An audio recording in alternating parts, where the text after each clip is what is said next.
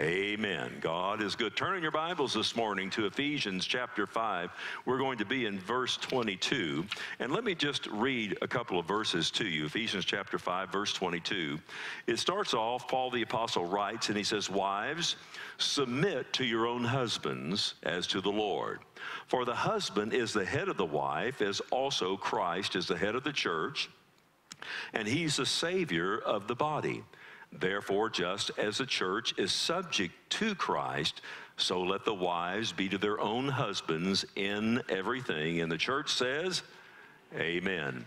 You know, this morning I want to talk to every person men, women, wives, husbands, marriage, but all of us, but primarily I want to talk to, to the women.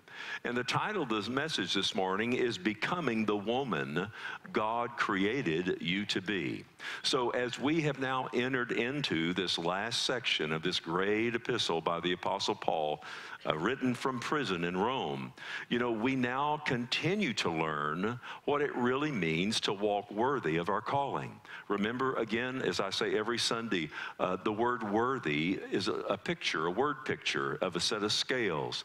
Uh, to be perfectly balanced in your walk, you're equal in doctrine, you're equal in application. If, you're, if either of those are off, then you're not balanced, you're not having a worthy walk. And we've learned that we need to imitate God as dear children by walking in love and wisdom and walking in light. And now we're learning this morning about marriage and how to honor God in our marriage, the husband and the wife. So last Sunday, remember just a quick review we learn many different things.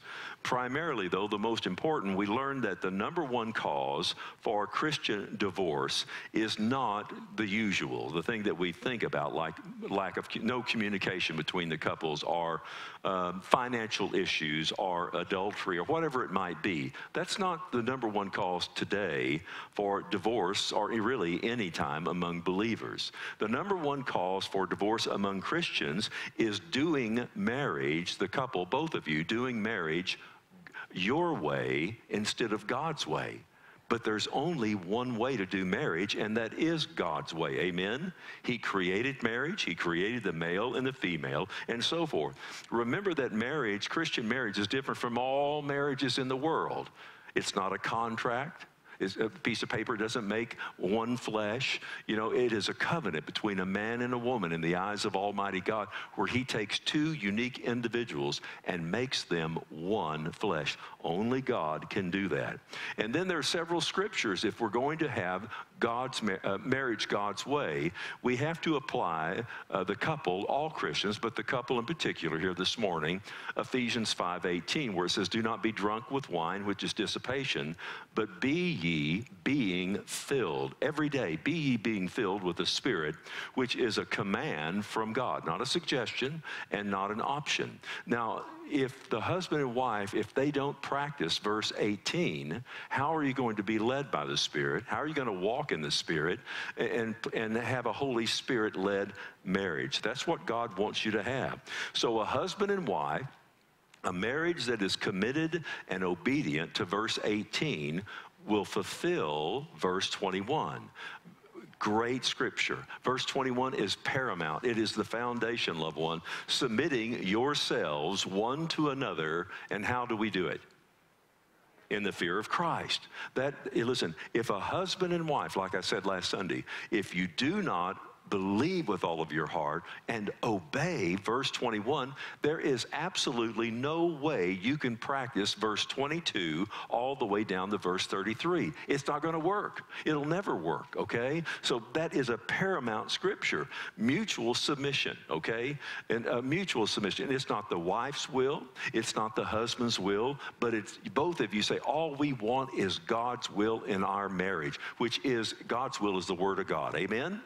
So that's what we put into practice. And if you do marriage any other way than God's way, how can Jesus be the Lord of your marriage? How can you truly say, I fear Christ, I fear the Lord? You can't if Jesus is not the Lord. So, this morning, as we look at the role of the wife and the role of the husband a little bit, uh, marriage God's way, this is so paramount, it's so important that for women, listen, you know, becoming the woman that God created you to be. Verse 22. It says, Wives, submit to your own husbands. And then it doesn't mean every man, your own husband, literally from last Sunday. Remember, your own unique, beautiful possession. You're one flesh now. It says, uh, submit, your own, submit to your own husbands as to the Lord. So before we get into that deeper, uh, I want to do exactly what I did in the first service. How do wives submit, truly submit to their husband? Now, there's a lot of different views on that, and uh, but the Bible is the only correct view. Amen. And th- and so uh, you know, just to mess around just for a minute, I, I want to. I wrote this down yesterday afternoon before I left here as I was polishing this sermon up. Let me just read what I wrote about how do wives submit to their own husbands. Here it comes. Your husband arrives home from work.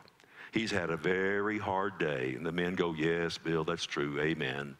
You know exactly, wife, you know exactly what he needs. He needs to unwind. He arrives home and he immediately he smells the aroma of rose petals that lay on the floor. Oh, the visual of that, his heart starts racing now. And he knows exactly what that means. He slowly follows the trail of the rose petals that you gently, that you lovingly placed on the floor before he arrived home. They lead your husband to his favorite place. He's been thinking about it all day long to his PlayStation 4 Pro. it is there you gently kiss him. You encourage him to play his favorite video game as long as he desires, and you say, Oh, honey, you look like you should play Call of Duty today. Oh, no, no, wait. Because you look into his eyes and you say, Oh, no, honey, no. Mortal Kombat is what you need to relieve this stress. Of course, you, the wife, you just arrived home from work, but you don't need to unwind. No, you feel good. I sounded like, nacho. You feel good. Never mind. You stopped at Kroger's and picked up a steak for dinner, but you also picked up the kids. You are wife. You are mother. You are woman. Now, when your husband is finished with his much needed stress rest, with great joy, you place his burnt offering, I mean, dinner, on the table for him. And you have even cut up his steak in the little chewable pieces. Oh, the husband's going, Come on, Bill, I love this, man. No, is that how you submit to your husband? No, that's insanity. Amen. Listen, submit is a love word. It says, unto the Lord, a command. Ladies, listen to me. Like I said uh, last Sunday, I believe, that is a high command. That is a loving command. It is a holy command for the woman. Oh, listen, your obedience is to the one who died for you, who paid for your sins, who tasted death for you and rose again and is seated at the right hand of God for you. Amen? That's who you serve. Galatians 3:28. There's neither Jew or Greek, there's neither slave nor free. Listen closely, ladies.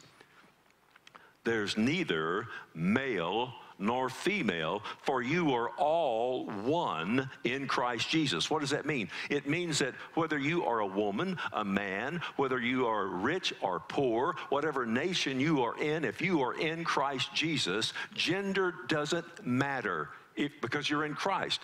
It means, it means that we are all equals in Christ. Whether you are married or unmarried, we're all equals. I don't know why it is that, uh, and listen now, uh, and I, why is it that sometimes I think women, they feel that they're inferior to a man? I don't, I don't understand that. No, listen, Ephesians 1 3 belongs to you just as much as it belongs to your husband. Ephesians 1 3, thanks be unto God who has blessed us with every spiritual blessing in the heavenlies in Christ Jesus our Lord. Every spiritual blessing belongs to you. Whether if you're just a single lady, it belongs to you just as much as if you're a married woman. Amen. You're just as sealed as your husband. You're just as chosen in him before the foundations of the earth as your husband. You're, you're just as seated with Christ as your husband, redeemed, sealed with the you follow me? Just as your husband. Listen, you have a spiritual gift that God has given unto you, just like your husband. Amen? Amen. Don't ever forget that. Listen, I'm telling you, it's so important. You need to practice those things. Listen, every woman, every wife, right this minute, if you are in Christ Jesus and He is your Lord, He is taking you from glory to glory to glory. Amen? And the next glory is better than the last glory. Do you understand? The adventure gets gooder and gooder. How's that sound?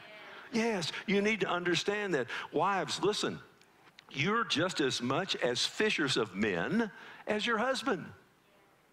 You're just as much as an ambassador of Christ or for Christ as your husband.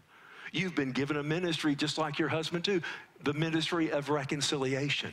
You are blessed. You are chosen. You belong to the Lord. Now, listen, wives, I tell you today, I've seen it all. I have, I mean, I have seen unbelievable things, which I don't have time to even go. I could write a book.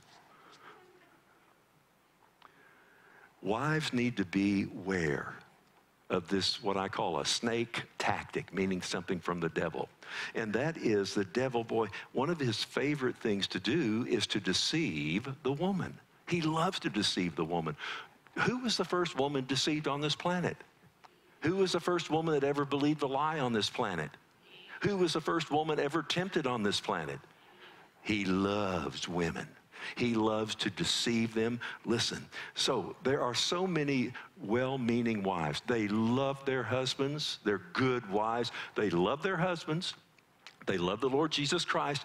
But here's the problem they want their husbands to tell them what to do, how to do it, and when to do it.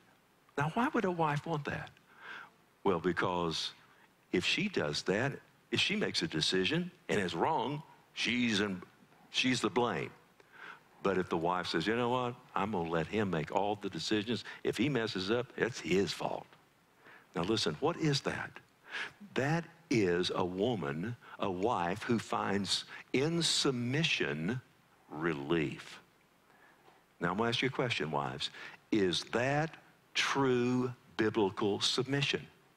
No, it's not. And there are some wives, you know, and, and they love the Lord, they love their husband, but they misuse their God given role. They turn mutual submission, submitting yourselves one to another into the fear of the Lord, they turn mutual submission into sloth or laziness.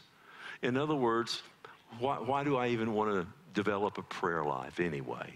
Why do I really want to dig into the scripture and, study scripture? Or why should I even want to discover my spiritual gift? I mean, all God's leading comes through my husband anyway. He's, he's the one that makes all the decisions. He's the head of the house. Is that true biblical submission? It can't be. It says, remember, 521, submitting yourselves, husband, wife, submitting yourselves one to another in the fear of the Lord, His will. Does that make sense? So you have to be so careful about those things. So, wives, it says, submit to your own husbands, and it tells us how, as to the Lord. Now, listen, the husband and the wife, they, yes, they have different roles, but not different importance. Not in the eyes of God. God loves both of you equally equally. So the christian wife why does she submit unto the lord? She does so for one reason. Jesus died for her. Jesus saved her but it is god's divine chain of command. Amen? That's why she does it. Listen go to verse 23 and you'll see it. For the husband is the bully of the wife. The husband is the dictator of the wife. You know he's the the majesty, your, your majesty. Oh man, I can, don't send me an email, guys. Oh, listen. For the husband is the head of the wife, and here comes these great words. As also, very important, as also what? As also Christ is head of the church, as Jesus is a savior of the body. The word head in Scripture either means the source of life, authority, or the origin, okay? Here, of course, it means that Jesus is our authority. Amen? Yes. Okay, whose plan is this? Is this man's plan? Is this husband's plan? I mean, the wife's plan? No, no, listen. God, uh, man didn't ask to be the head of the house. He didn't even know he was going to be the head of the house, all right? No, this is the plan of God. So wives acknowledge headship, and that's why they submit to God's divine order and authority. And husbands, you really ought to look at verse 23 very, very carefully because you are to lead in your home in your marriage. You are to act in your marriage, in your God given role. It says, just as Christ is or did. Jesus gave himself to the church. Amen. He nourishes it. He cherishes it. It is his body. So victory in marriage is found when both husband and wife they submit themselves to God's divine order. Let me give it to you in 1 Corinthians 11:3. Paul writes, he says, I want you to know that the head or the authority of every man is Christ. And the head of woman, or the source or origin, the head of woman is man. Boy, wouldn't that be great if the head of every man was Jesus Christ in the whole world? Wouldn't that be a wonderful thing?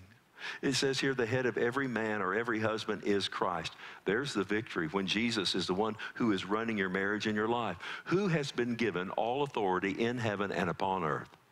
Jesus. Who, who every tongue, every, every tongue will confess, every knee will bow to whom? To Jesus. He is the only person who has the right to rule all of humanity, no one else. He died for the world. Amen? Now, with all that being said, Christ headship over us, is it a loving headship? Absolutely. He loves us. And that's the way it is to be in marriage. So the head of woman is man. So, husband, listen to me now. Never forget that your authority that you have is a delegated authority given by God to be used for His purposes, not your purposes for his purposes. This has been God's chain of command, the divine chain of command since creation. Now, listen, men, listen to me. God given authority never means superiority. Amen? It's so important. You know, does God favor men over women?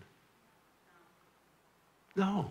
I don't know where, I, you know, I've heard that said that God favors men over women. I don't know where that comes from. No, listen, ladies, you know, this headship, this has nothing to do with your personal worth, your intelligence, or your abilities. This is simply God's chain of command. So that headship, again, means that man is the source or the origin, if you will, from, uh, from which woman came. Listen to the scripture, 1 Corinthians 11, 8. For man is not from woman or did not originate from woman nor was man created for the woman, but the woman for man. Now that verse takes us all the way back to Genesis chapter 2. If you want to turn there, you don't have to turn if you don't want to. You can stay in Ephesians, Genesis 2:18. Remember, Adam had named all of the animals. There was found no one for him, okay? And it says in verse 18 of Genesis 2 And the Lord said, It is not good that man should be alone. I will make him a helper. Everyone say that word with me helper comparable to him. We now we just found out from God himself why did God create woman? It's not good that man be alone. That's exactly what God says. God says, I got to make him a helper. I need, he needs someone who's going to iron his clothes and fix his dinners and listen to him complain and make sure that I mow his yard and, huh? No, no, listen to me. John 14, 16, Jesus said, I will pray to the Father. He'll give you another helper that he may abide with you forever. Now, listen, guys, ladies, helper is not a demeaning word. And it's been turned into a demeaning word by men. I'm telling you, Helper is not a demeaning word, it is a divine word from the lips of Almighty God. Man, listen, helper describes a divine function, not a worth. The Bible, the same Hebrew word there for helper, in, in what I just read to you, is the same word used for God. Where it says in Scripture, like Psalm 54 4, God is my helper. Same word. What a divine, glorious word that is. In, in, in Hebrews 13, 6, it says, And the Lord is my helper. Listen, look at verse, oh, never mind, Genesis 2.21. Let me read it. And the Lord God caused a deep sleep to fall upon Adam, and, and Adam slept. And, and God took one of his ribs, and he closed up the flesh in its place. The main point of that scripture is not Adam's rib which so much has been written about. The main point and the emphasis of this verse that I just read is that Eve came from the side of Adam. He didn't come from the foot of Adam, the bone in the foot, or uh, the head. None of those things. He came from the side. And then the rib, which the Lord God had taken from man, he made, or literally the word is he built into a woman. Isn't that incredible? God built the woman. That is so cool, man. I love that. And he brought her to the man. Now that's getting ready to have the first marriage, and God is giving away the bride. Amen? So that word built there, God designed woman from man, which means that woman is part of man. The very first woman on this earth is from man. 1 Timothy 2:13. Adam was formed first, then Eve. Only Adam was formed from the dust of the ground. Only Adam, not Eve. No, Adam, uh, Eve came from Adam. Ma- Matthew Henry called Eve this. Matthew Henry said, Eve is dust double refined. what a glorious thing. He says, now, if you study this out in Genesis, you're going to notice something about when God built woman. He uses six verses. Whenever it comes to man, he only used one verse. Think about that, ladies. You did certainly got the preeminence there. But Adam was not completed. He had to have a partner, okay? It says in verse 23, listen to what Adam did. And Adam said, when he saw Eve, he said, This is now bone of my bones, flesh of my flesh. And so he had named all the animals. Now he's going to name his wife. She shall be called Isha or woman in the Hebrew there, Isha. And he says, she, she shall be called woman because she was taken out of Ish or man. What a glorious play on words. So again, Adam, all the animals had named. The last person he named was his wife. Now listen, when Eve or when Adam saw Eve, I would have given anything to have been there. I mean, first of all, think about it. They were both naked. You know what I'm saying? I mean, do, do you have any imagination? I mean, he had never seen a woman. I mean, he knew what baboons looked like and whatever else was in the garden, but he had never, ever seen a woman. And in the moment that he saw Eve, he just prophesied. He said, Bone of my bone, flesh of my flesh. We, we would say it this way today it was love at first sight.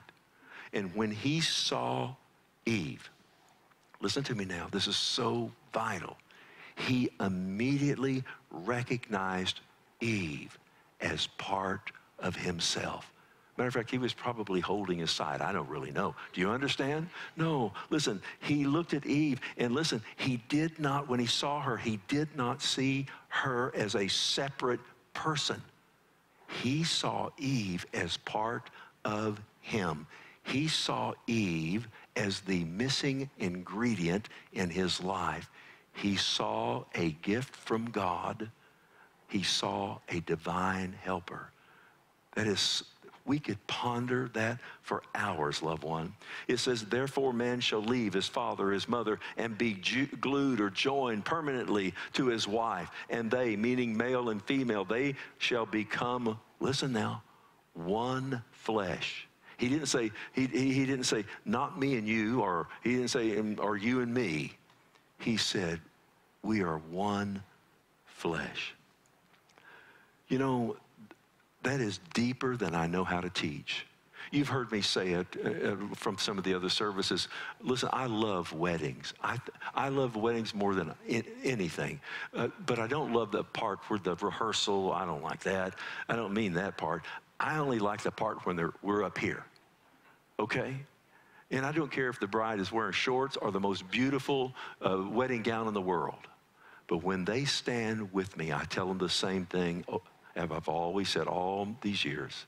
I said, when we get up there, it's just us and one other person, Almighty God. Doesn't matter who is out there, but God is about to do something that no piece of paper, no pastor, no one on earth can do. He's about to take two unique different individuals, male, female, two different emotional makeups, and somehow the miracle of the marriage covenant, he makes them one flesh. Adam said, Oh, Eve, you're bone of my bone. You are flesh of my flesh. If you're in Ephesians, I hope you are. Look down to verse 28. So husbands ought to love their own wives. Look how as their own bodies. Why? Well, for he who loves his wife loves whom? Himself.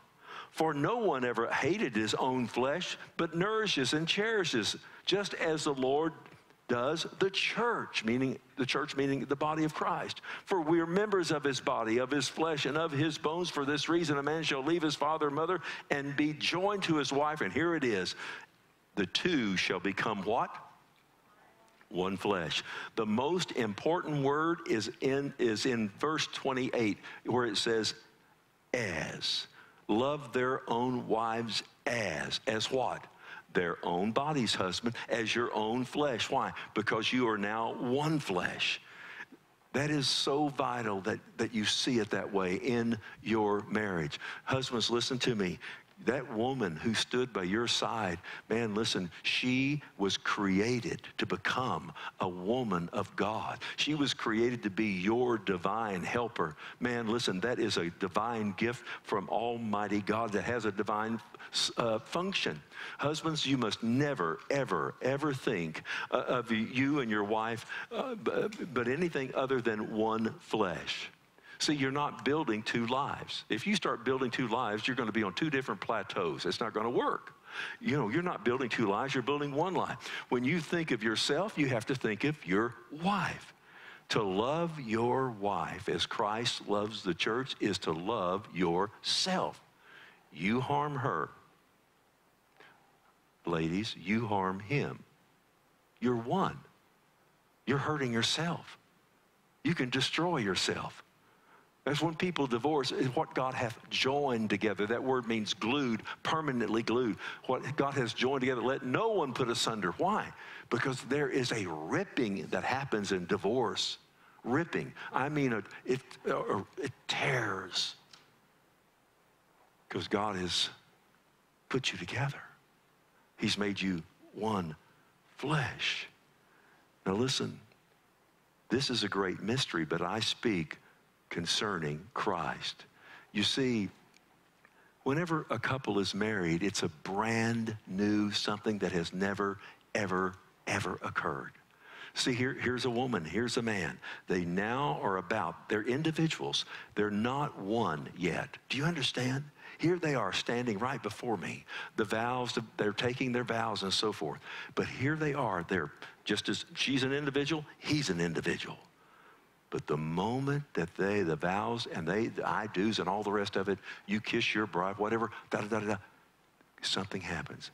They're made one. Something that they have never, ever been before in their entire lives. And you know what happens? They then do something. They take their first steps together as one. Does it, do you see what I'm getting at? It's never happened before. It's a brand new moment. It's a brand new day. That's why I love marriage.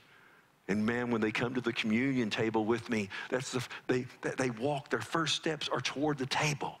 The first steps is to honor God. Amen?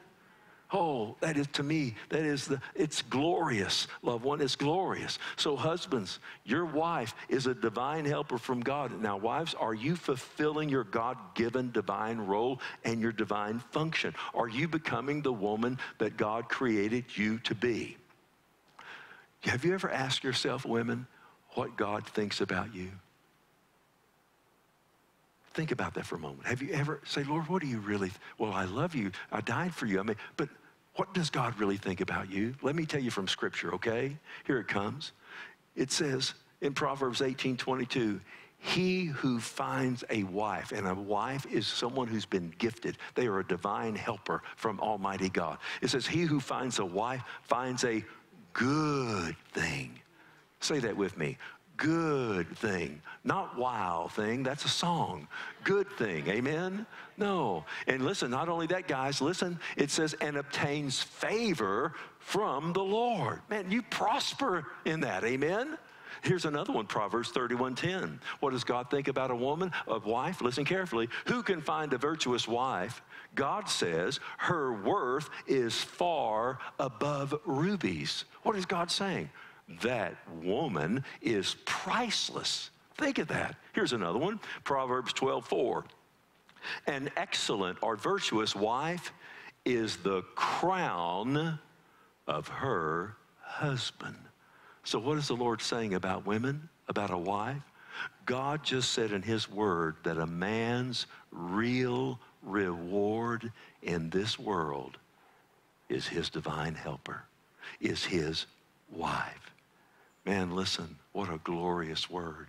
You know, look back now, Ephesians, look at verse 24 with me. Therefore, just as the church is subject to Christ, so let the wives be to their own husbands in what? Let's say it again. Everything. Now, I'm going to ask the wives a question. You just read that scripture with me. Does everything mean everything? Listen carefully now. Whether it, one day, if you're single right now, one day maybe you'll be married. Now, listen to this. You know, mutual submission. Remember verse 21 submitting yourselves one to another in the fear of Christ, okay? Mutual submission doesn't mean that when you are at the altar and you take your vows, okay? That you, sub, that you leave your brain at the altar and walk out of here and say, okay, he's, he's my ruler. I have to do everything that this man tells me to do. I know men don't like that. You know what I mean? No, no, listen to me.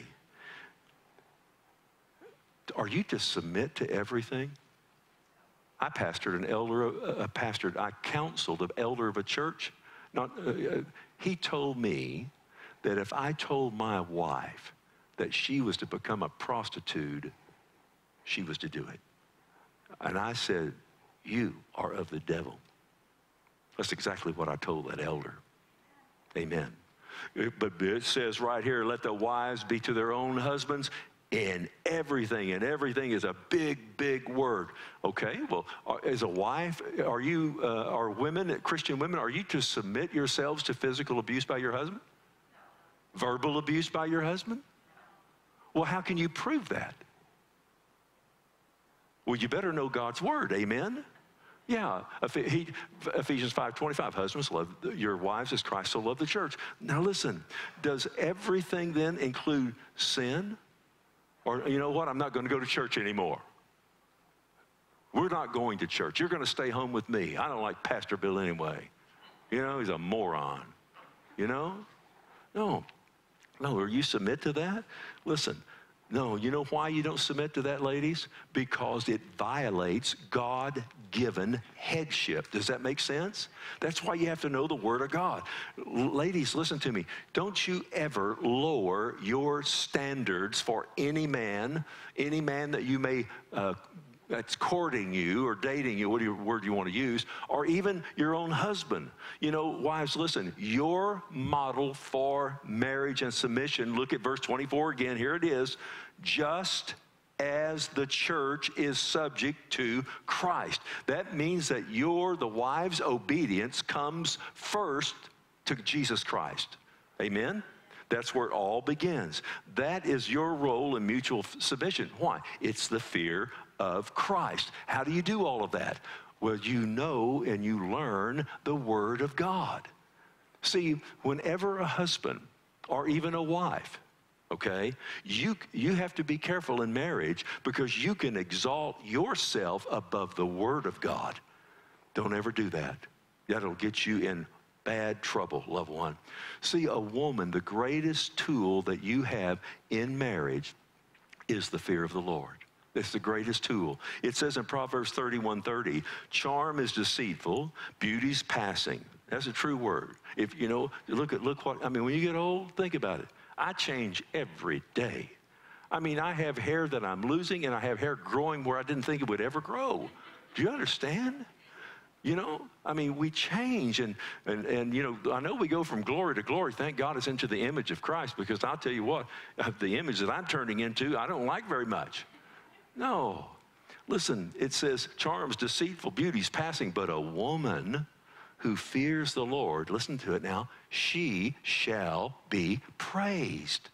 Listen, let's say that you're dating or courting, whichever word you want to use. If you are dating a man that is not good to you while you're dating, loved one, listen to me, he's not going to be good to you after you're married. If you're dating uh, uh, uh, uh, men, if you're dating a woman that is not good to you in your courtship, what makes you think she's going to be good to you after you're married? It's not going to work, believe me. No, women, listen, every wife, all, all ladies, listen to me now. Women, uh, do you know that women didn't have any rights in the first century?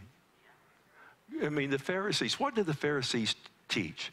They taught that they could divorce their wives and, and, the Pharisees were the strictest sect. The, the Jews believed that if anyone could ever go to heaven, it would be a, a Pharisee, okay? The Pharisees taught the people that, that you could divorce your wife, men could divorce their wife for any reason and without any shame and without any guilt. In other words, women weren't very, they were viewed as very low. You know, if a woman, a Jewish woman, if she wasn't good to her husband's uh, mother, meaning her mother in law, he could divorce her. Matter of fact, if she even lost uh, uh, her appeal, you could divorce her. Think about that. Uh, they had absolutely no rights. You know, you, you burn the dinner, you're gone, baby. You know what I'm saying? No. But listen to me. Was that God's view of woman and marriage? No, that was man's view. Do you know, like I told the early service, I said, do you know what 2020, what does this year mark? 2020 marks the 100th anniversary of the passing of the 19th Amendment. Do you know what that amendment was? That it gave women the right to, to vote. Think about that. They, I mean, women couldn't vote. They, they couldn't vote at all. Listen, if you study out America uh, uh, just 100 years ago, you know, a woman couldn't even write, have a will, her own personal will. And matter of fact, she couldn't sign legal documents.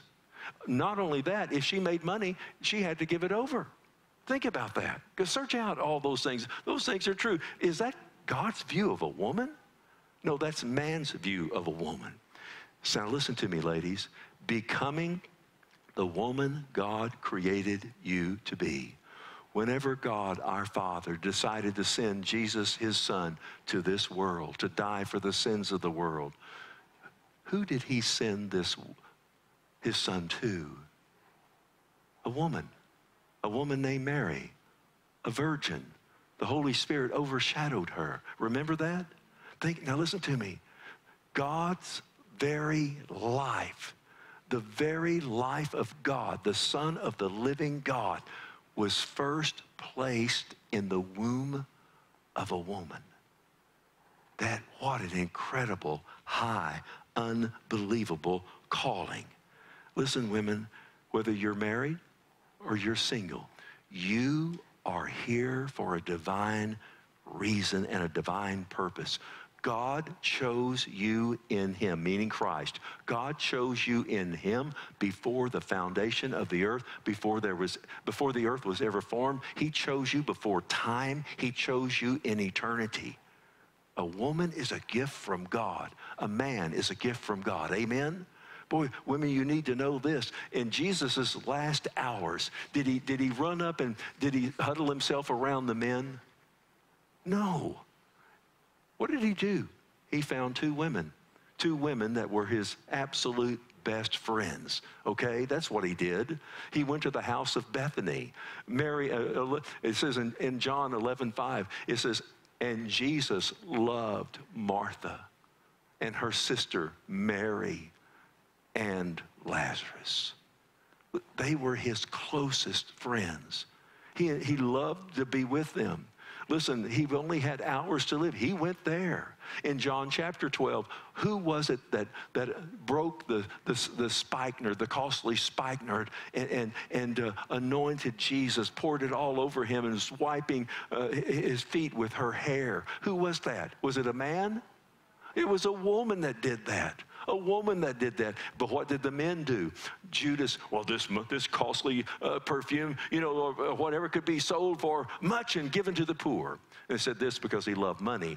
If you read the other Gospels, it says that the disciples joined in with Judas saying the very same thing men. But uh, what did Jesus do? Jesus said unto the men of that house in John 12, He said, Leave her alone. I love that. He said to that one, the guys, you leave her alone. He said, for she, meaning Mary, has kept this for this day, the day of my burial. Now listen to me. A woman, women, don't ever feel inferior. Don't do that. That's sin. Listen, a woman knew what the disciples did not even know. She knew what she was doing. Do you understand? I mean, what a privilege. This incredible honor was given to a woman and not to a man.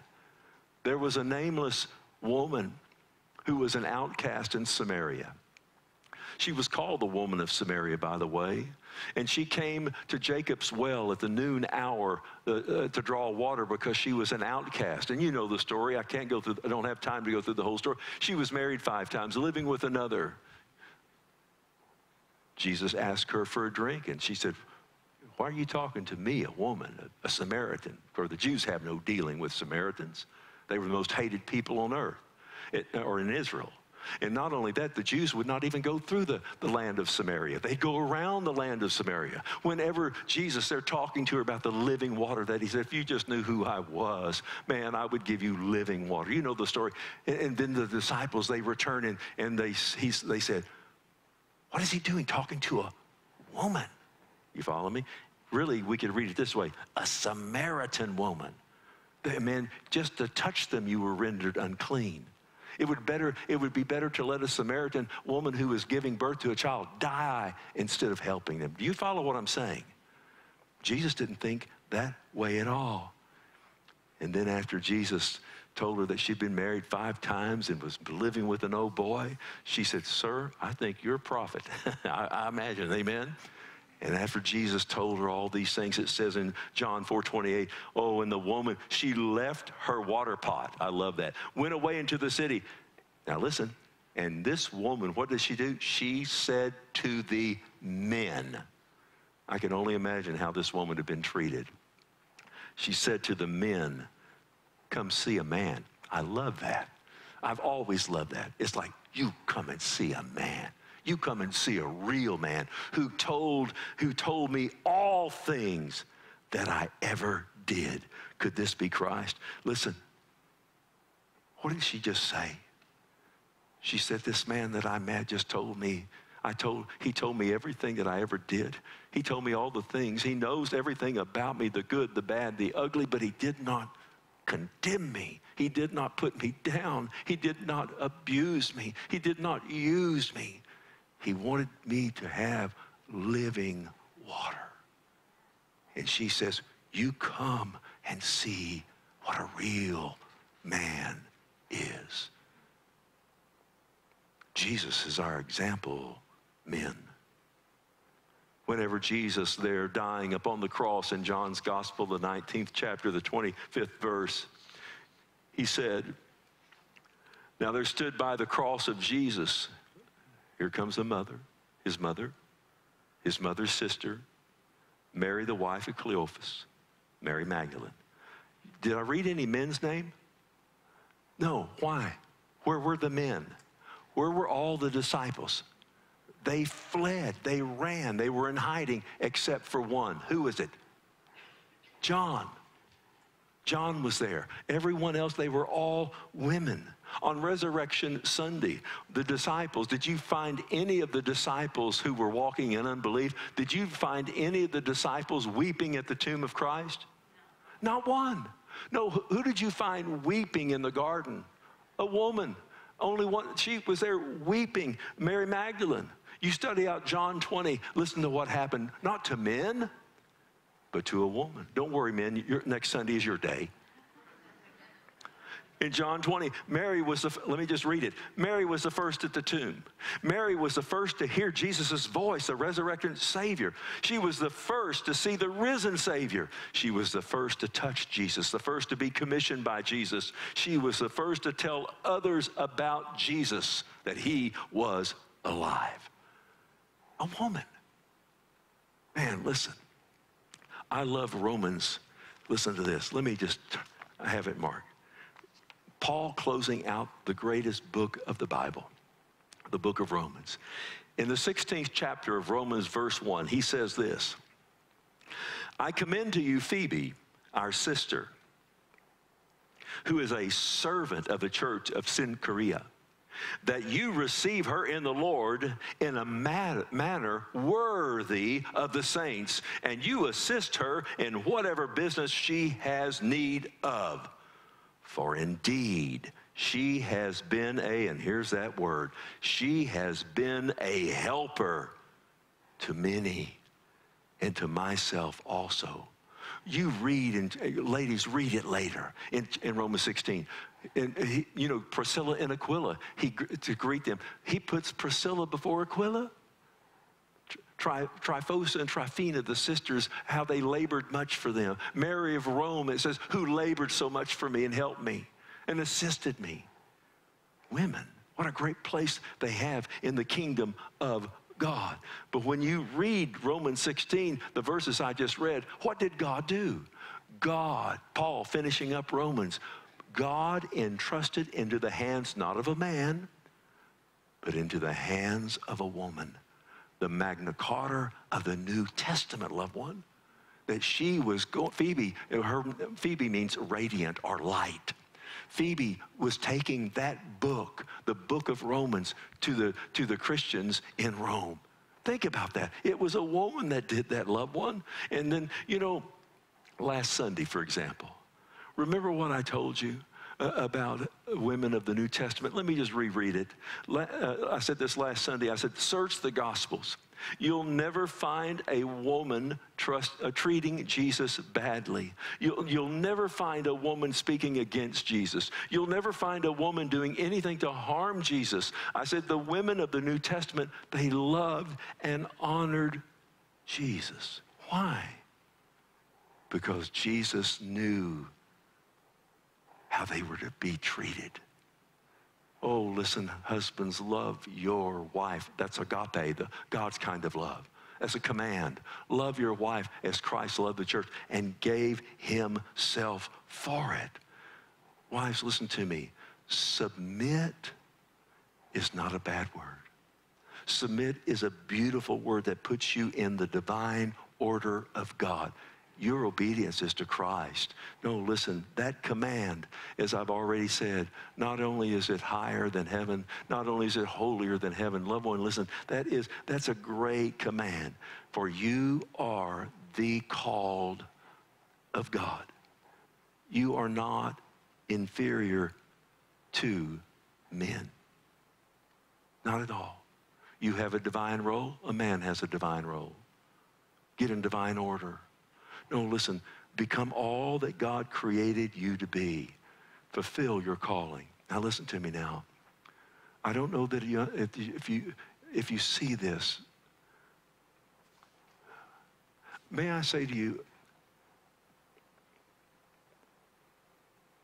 until the husband understands that his wife is a gift from God, and that she has a divine function, a divine purpose, and that she is a divine helper.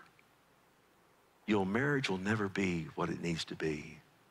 I could not be half the pastor I am without my wife. Matter of fact, I probably would not be pastoring. What a great divine helper, encourager, prayer warrior, supporter she is to me. No, listen. Your husband, your husband is incomplete without you. Isn't that amazing? It's not good that man should be alone, God says. He has to have a helper. If man is incomplete without you, why? Because you have been made one flesh. See, a husband, a Christian husband, must have a divine helper. If not, part of him is missing. A lot of women will not allow their husbands to take his divine role. That's the unwise thing to do. A lot of husbands, you don't fulfill your divine role and you transfer headship over to your wife. You've abdicated your throne that God has given you. And what happens then? You're putting upon your wife a burden that she was not created to bear. Does that mean, does that mean, Bill, that uh, only the man makes all the decisions? What? What? I don't even balance my checkbook. I don't even know how much money's in our checkbook. You know what I do? She says, These are our tithes checks, these are offering checks. I said, Okay. She has her gifts. I have my. Does that make sense? I need her. Listen, we make all decisions together. How? Submitting yourselves one to another in the fear of Christ. Amen? Now, but Bill, what about whenever she doesn't? Well, when she doesn't know, that means I'm praying more than I normally do. If she doesn't have a, a, word with me from God, if we're not in agreement, the only thing I can do then is go to the Word, stand on the Word, and pray. The final decision, yes, then belongs to the man and he's responsible. Does that make sense? Oh, how you need to work together. How we need to get into our divine roles. Ladies, listen to me. God wants to take you from adventure to adventure. You have, you're called of God, you're chosen of God, you're gifted of God. You don't abdicate your calling when you get married. You fulfill your calling in your marriage. Amen? That is so vital that you do that. It takes all the body of Christ, not just men in the body of Christ. With all that being said, Father, we thank you for this word.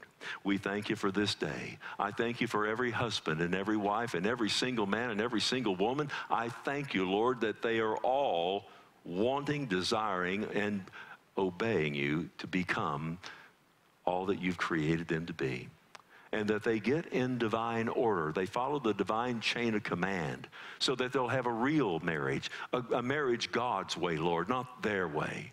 If there are marriages in trouble, those here or those that are listening live, oh God, in Jesus' name, help them, Lord. Help them to get into the Word of God. Help them to uh, submit one themselves one to another, and Lord, do so in the fear of Christ. For Lord, you made them.